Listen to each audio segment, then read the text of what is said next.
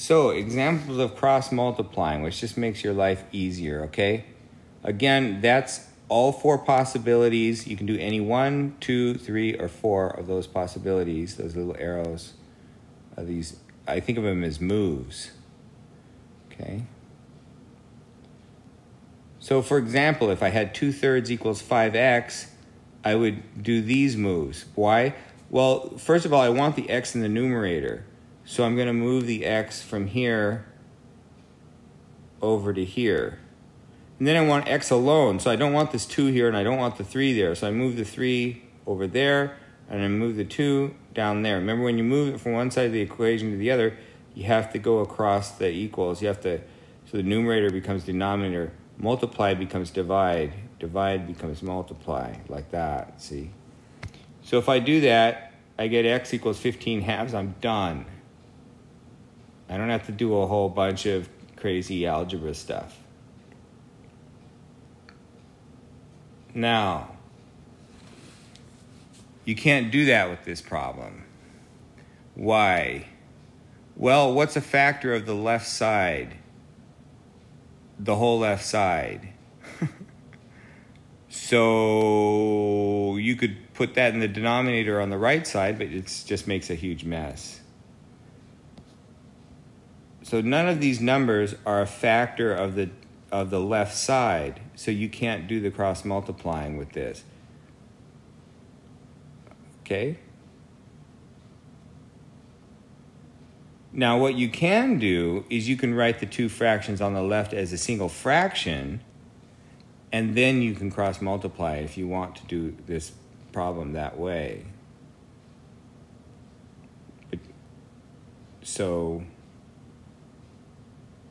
now you could move the 2 to the left because the 2 is a factor of the denominator on the right. This 2 here. Just move it up here, but it has to be times both of these. And there's really no reason to do that. I can't even think of an example where one would want to do that. So if you see something like this, you don't cross multiply.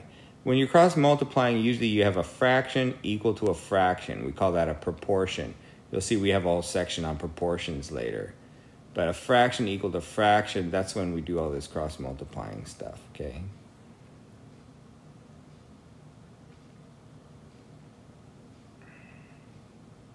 It just happens to come up frequently, so it's useful to know the shortcut. So this this shortcut cross multiplying thing is not useful in this problem, is what I'm saying here.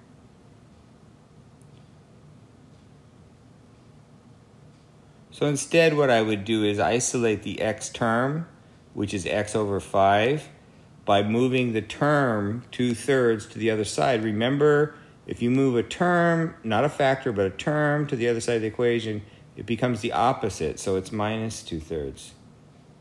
And then I probably would put these two fractions together by getting a common denominator of 6. So multiply by 2 over 2 and 3 over 3. Put them together right? Like that. And the little arrow just says I'm going to the next step because I'm not doing it vertically, I'm doing it horizontally. So I just put arrows, not equals. This is this is not an equal sign here. It's just an arrow saying this goes to this, goes to that. So now I have a common denominator. I can subtract the numerators, right? So I get x over 5 equals, now I can cross multiply, see? So I can just put the 5 up there. So x is negative 5, 6. Right? That's a cross multiply. Done. Okay? So that's an example.